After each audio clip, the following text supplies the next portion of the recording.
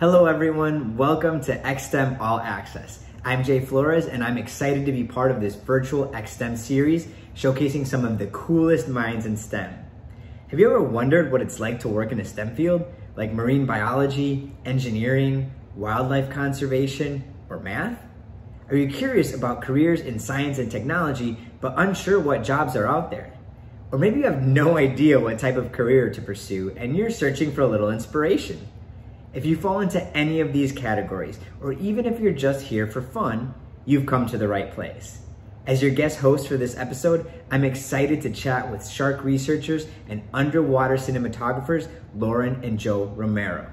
I'm gonna ask all the questions you'd like to know about their job, like what inspires them, how they found their path, and what's happening in the world of shark research and conservation.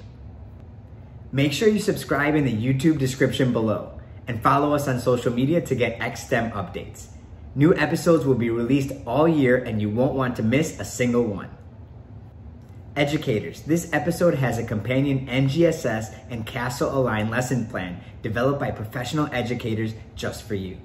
Scan this code to access the lesson plan so you can easily incorporate it into your classroom activities. From here, you'll also have access to other free STEM resources from today's speakers, our partners, and more. Students, with your parents' permission, tell us how you were inspired today by tagging us at USA Science Fest, hashtag XSTEM, and me at JFlores Inspires. This free STEM program is brought to you by the USA Science and Engineering Festival. The mission of the USA Science and Engineering Festival is to inspire the next generation about careers in STEM. You can check out their other free programs and events for teachers and students at usasciencefestival.org. Before we begin, please join me in thanking our partners, the US Air Force, the US Space Force, and the Discovery Channel for making this XSTEM series possible. Let me tell you a little bit about myself. I grew up super curious, and I had wonderful parents that allowed me to explore that curiosity, and great teachers that helped me take that exploration even further. Eventually, I studied mechanical engineering and started my career as an engineer. Eventually, I went off into the world of entrepreneurship, and now I focus on inspiring students and educators like you to continue to do really cool things with STEM so that you can invent the change that you want to see in the world. I've done everything from host TV shows like Make 48 to compete on American Ninja Warrior and bring science to the stage. And I'm really excited to be with all of you here today. I hope you're as excited as I am to meet today's speakers. Can you imagine a job that takes you into the ocean and face to face with sharks? Most of us would think twice before jumping into the water with an apex predator. But for today's speakers, that's just another day in the office. Lauren and Joe Romeiro are a husband and wife shark researching team. Lauren is a marine scientist and cinematographer currently working towards her PhD in oceanography from the University of Rhode Island with a focus on shark behavior. Joe is a naturalist and award-winning cinematographer who has spent over a decade filming and interacting with sharks all over the world. Their work has been featured on the Discovery Channel, National Geographic, and Animal Planet to name a few. Together, they study sharks and their behavior with a focus on the conservation of these amazing creatures. Please join me in welcoming Lauren and Joe Romeiro. Thank you, Jay. We're really excited to be here. Lauren and Joe, let's dive right into our questions because I know this audience is thrilled to hear about your exciting careers. You both have a passion for sharks and have dedicated your careers to studying and documenting these awe inspiring creatures. What inspired each of you to embark on a career in shark exploration? Uh, I, what inspired me was really I, I was a little kid from the Azores, and when I came to this country, I really couldn't speak English. So a lot of the stuff that I saw on TV is what inspired me. I watched a lot of monster movies and natural history stuff, and sharks were always a really big part of that for me. And uh, I remember seeing Jaws, which was like the biggest movie when I was a kid, and that really motivated me into like being very afraid of sharks. And at that point in my life, being afraid of sharks was just was like the only thing I had ever done. So it was just like it's something that like brought me to a position where I just I couldn't get him out of my head. And then when I really saw a shark, it was just something that you know, really inspired me to keep going with it. It was just something my, my whole life it's been with me. What inspired me to get into this career was I spent a lot of time on the water growing up. Um, my family had their own boat, so we spent a lot of time traveling around, and I really got to enjoy the ocean and see a lot of animals. It's actually where I saw my first shark was in the wild, and that really sparked my first interest. And then as I learned more and more about them from books or movies, my passion just grew from there. I think it's great that both of you either found or grew your interest in sharks through books and movies because those are things that most everyone has access to.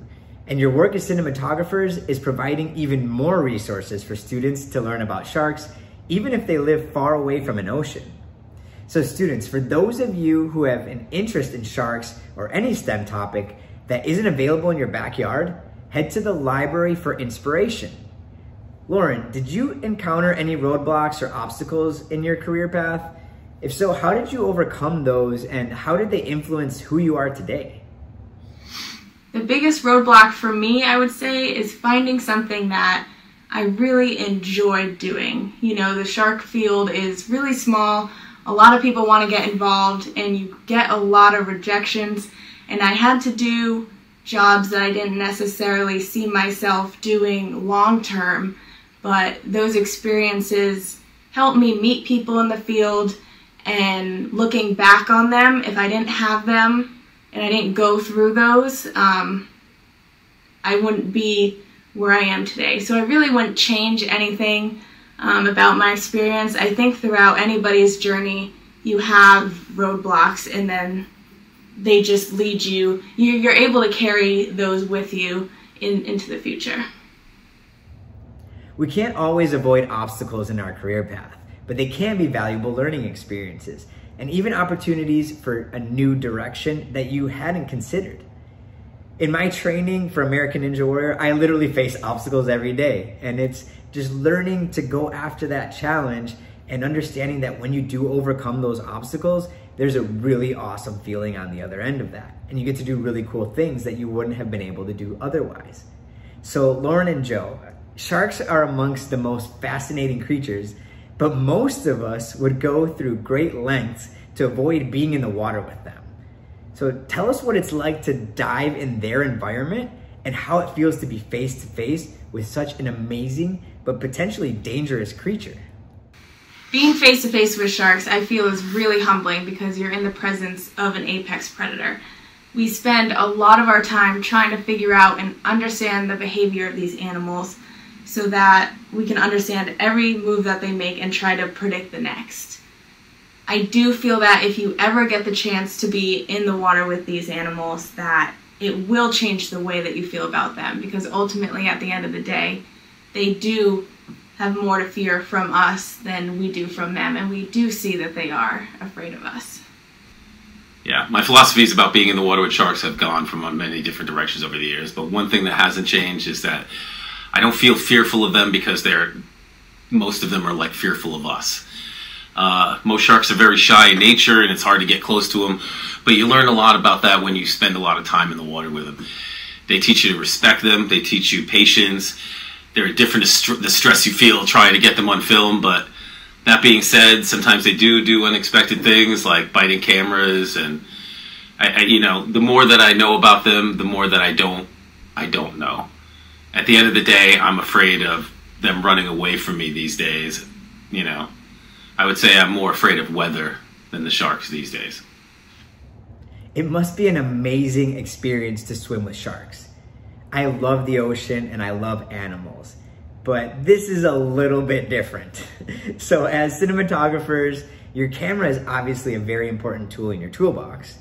As researchers though, what other innovative technologies do you use to study sharks and like what do they tell us? Uh, Lauren can go really into the innovation of like research tools, but as far as like camera gear, there's like they're just always getting better. Like film equipment is just increasing in, in ability every single year. Cameras are getting smaller. We're able to put them in different places. We're able to follow sharks into different areas. We're able to like go to different depths.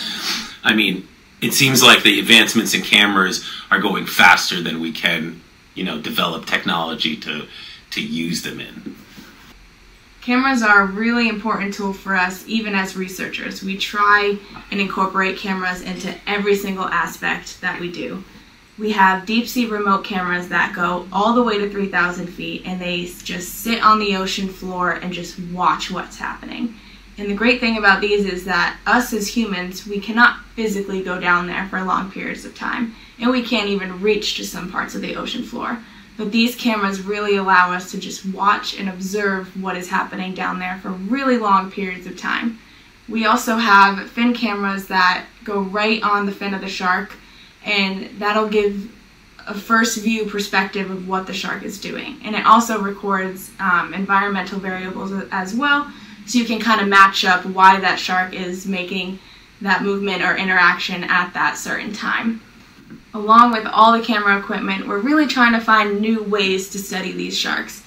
For us, it's really important that we use non-invasive methods because we really don't want to alter their natural behavior. So one of the techniques that we're using is called environmental DNA. So generally speaking, what this is, is you would take a water sample send that off to a lab, get it analyzed, and they can tell you what animals were at that location at that point in time. It's usually about two days or so. Um, so instead of, you know, going out and sampling an area using nets or long lines per se, we can go out, just take a sample of water, and we're able to see any sort of animal that was there over that period of time that we may not have even seen with our own eyes. So that's been really helpful, which is a really new technology that allows us to see what animals are in the area even if we're not seeing them ourselves. So we're also taking tissue samples off free swimming animals and we're looking at reproductive hormones which can tell us if that shark is in a reproductive state or not. We're also looking at isotope ratios which can tell us what that animal has been eating. Each environment has its own unique ratio so we're able to find out where that shark came from and see where it might go next. So it's essentially placing a tag on the animal without actually placing a tag on it, which is really unique. How amazing is it that we have the technology to learn about marine life without harming them, or in some cases, without even coming into contact with them? You've both been filming and studying sharks for a significant amount of time. In your research, what is the most interesting or surprising thing that you've learned about sharks? The most surprising thing I would say is that we are continuously learning about these animals every single trip out. Even with everything that we already know about them, they are always surprising us with new behaviors and encounters that we never expected to have. Yeah, I don't really think there's like a most surprising thing. I think they're constantly doing things that are unexpected. It just really never really seems to get boring with them. It always seems like the more that you you look into what they're doing, the more that you know, you don't really see the whole big picture. Uh, probably the most surprising thing I've ever seen them do is behavioral. It's just like something that they may do as far as like you can really clearly see their they're they're frustrated with something or they're afraid of something or if they're just doing a certain thing. Um, uh, I guess there was like another there was another time where I actually had a shark tooth and that shark tooth had all this like uh, kind of like almost like a, a coating on it like a slippery coating on it. And I remember I like hit it in my glove to see how sharp it was and because of the slippery coating it like cut it a lot faster and a lot quicker and it was like one of the things that surprised me is that like sharks had this built-in lubrication to like these these like teeth that they have like almost like how people that work with knives like lubricate their knives when they're doing incisions and cuts. It's like it's just to like make a cleaner cut. And that was one thing that really surprised me about them. So i don't know. They're constantly surprising me. I can't wait to hear what we learn next about these amazing creatures Unfortunately, many species of sharks are disappearing from our oceans.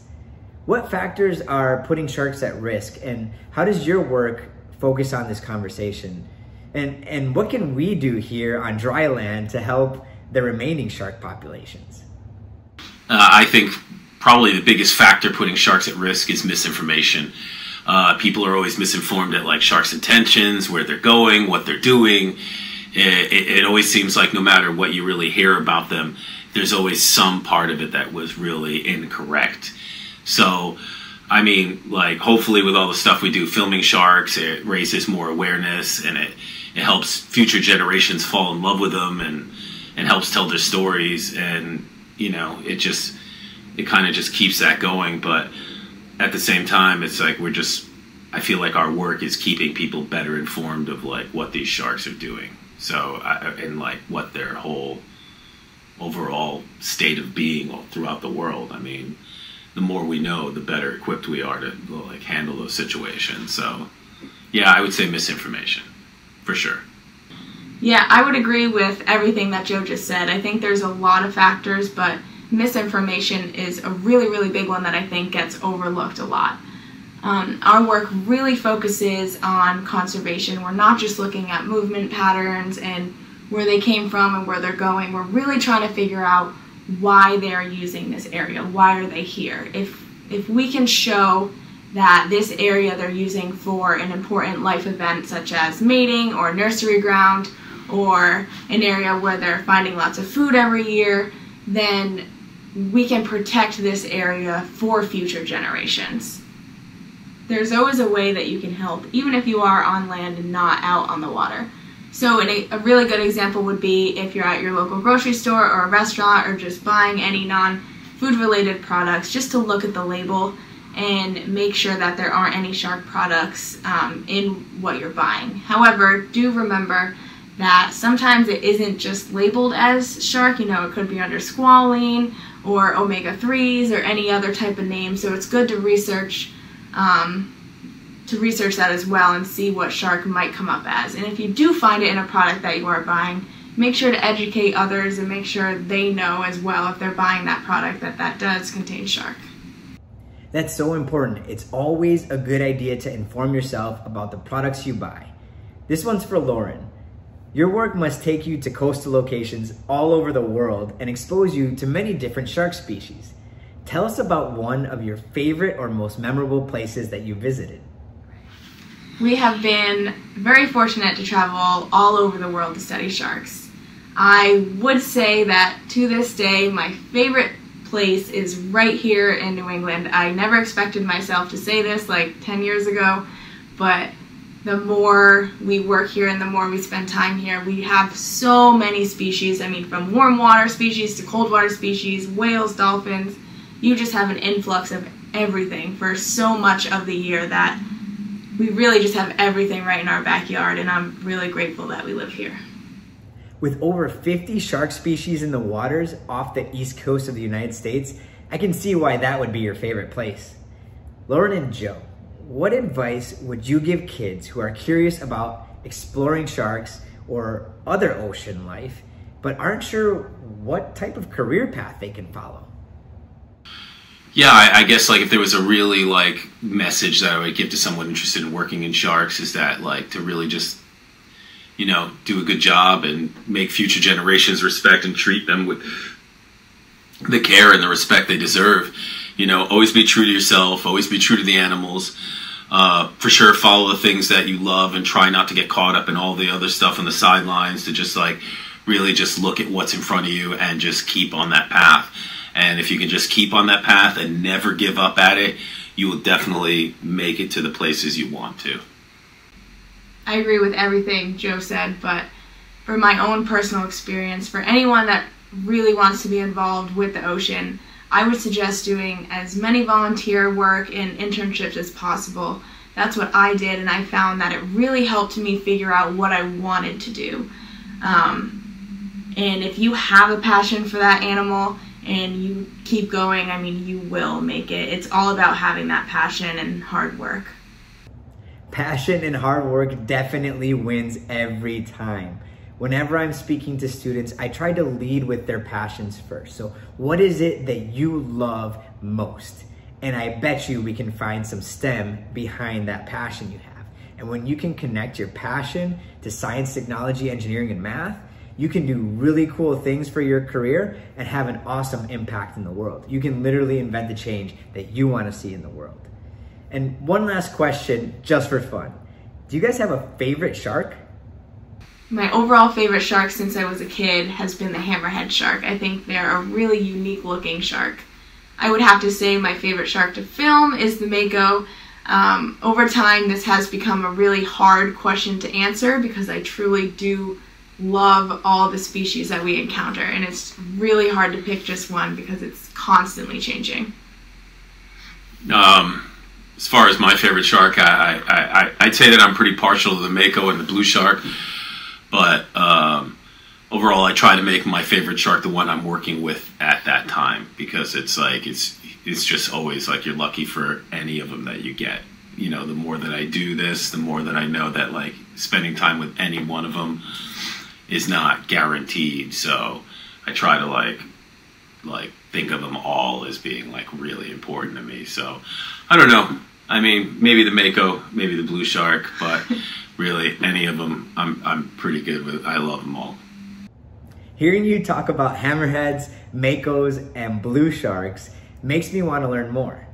There really are too many fascinating shark species to choose a favorite. So thank you, Lauren and Joe. I love chatting with you guys and hearing about your work to learn more about, document, and conserve sharks. It was really great to be here. We want to say thank you to all the students for tuning in and to Jay for having us. Um, it was a really great time. We really enjoyed it. Thank you, Jay. It was really great to be here, and thank you to all the students for tuning in. We really appreciate everything. Everyone, make sure to follow Lauren and Joe on social media to keep up with their work. And don't forget to check out the Discovery Channel's Shark Week on Discovery Plus to see over 20 hours of incredible shark programming, including Dawn of the Monster Mako featuring Lauren and Joe. But don't go anywhere yet. Let's take a moment to hear more from our partners at the U.S. Air Force and the U.S. Space Force.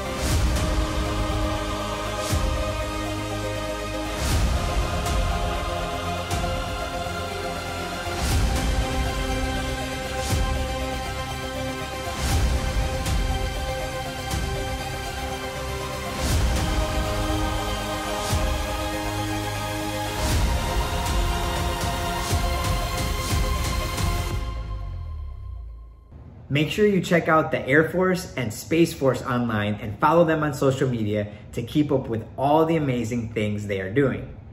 Thank you again to the United States Air Force, the United States Space Force, and the Discovery Channel for making this XSTEM All Access series possible. And thank you for tuning in today. Don't forget to subscribe to the YouTube description below. And follow us on social media to get XSTEM updates about new episodes. You won't want to miss any of them. Plus, you'll get access to weekly content for students and teachers, such as STEM trivia for students, classroom tips for teachers, and so much more.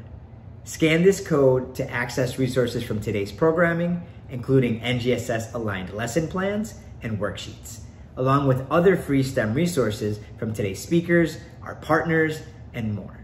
With your parents' permission, tell us how you were inspired today by tagging us at USA Science Fest, hashtag XSTEM, and me at J Flores Inspires.